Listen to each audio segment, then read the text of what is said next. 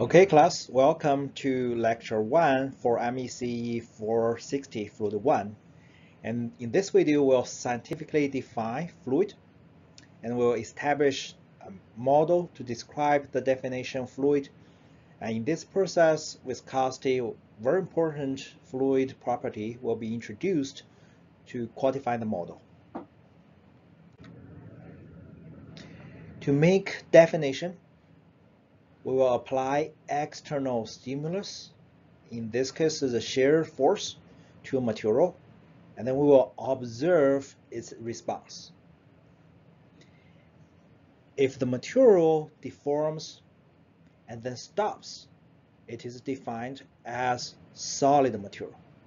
The deformation generates a resistive force counteracting external force, reaching force balance.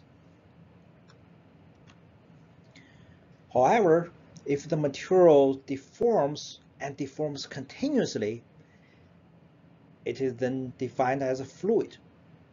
The continuous deformation generates a resistive force, counteract external force, reaching force balance. Now we can coin the definition of fluid. Fluid is a material that cannot resist any shearing.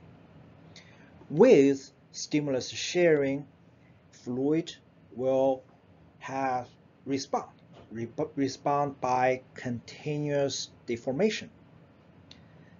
And then based on this deformation, the next step will establish a model to describe the stimulus response relationship. Here, we will mathematically describe sti stimulus, in this case is force, and its response of a material, which is continuous deformation. One thing must be ensured that the mass description should be able to generalize to all fluid regardless of its size. So for stimulus, we will introduce shear stress, tau, equals F, the force divided by acting area A in this way, we can eliminate the size effect, in this case is the area. And for response, we'll introduce strain rate, which is the rate change of deformation over time. In order to establish the math description for strain rate, we set up a coordinate to it. Here is y to represent this coordinate at the location y1 fluid moves at speed u1 and the location y2 fluid moves at speed u2. The velocity difference will cause the continuous deformation. So you can imagine if the velocity same at 1 to 2, there's no velocity difference. Material translate at same speed, there's no deformation. Again, to eliminate the size effect, we use uh, velocity difference divided by the location difference, y1 minus y2. And to make it more mathematical strict, and we assume that y1 is very close to y2, which lead to du over dy. That's the strain rate.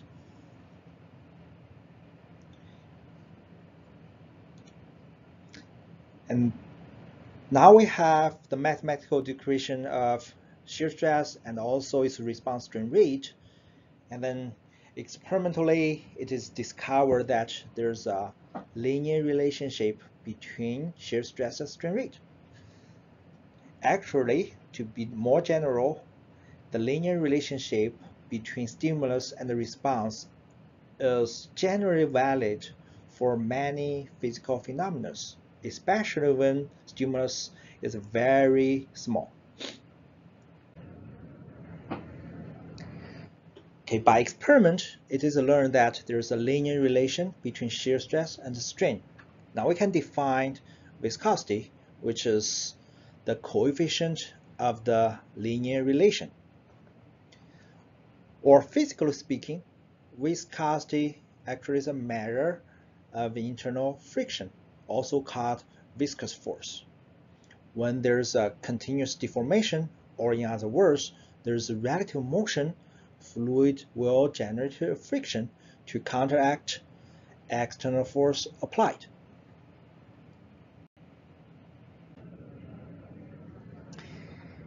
Now in this slide, we'll wrap up the short video with some very useful facts about viscosity. First, viscosity varies with temperature, but there are opposite trends for gas and liquid.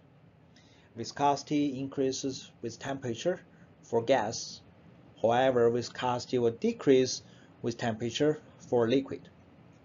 Second, viscosity doesn't change with pressure at a low pressure region, for example, at the level atmosphere pressure.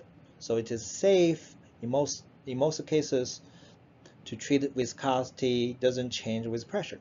However, in extreme situations, especially when pressure is extremely high, for example, on the order of a gigapascal, and then viscosity will change with pressure. And the applications include bearing the gears, and then you need to treat viscosities uh, change with pressure.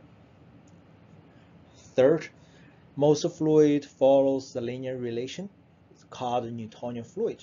So it's named after Isaac Newton, who first used differentiation to formulate the linear relation. If not, and then the material is called non-Newtonian fluid.